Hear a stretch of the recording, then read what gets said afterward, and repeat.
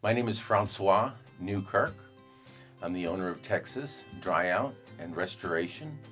I'm a general contractor with a specialization in mold remediation. I think if folks would educate themselves a little more on their policies so they know what is covered and what is not covered would be very, very helpful. Once that's been done, then take it and document everything that you have. Documentation is so important to where I would take a video of all my personal belongings, the layout of the house, how everything is done, and document so if you have to rip everything out, you must do it quickly and mitigate the damages so that they don't continue to get worse and worse.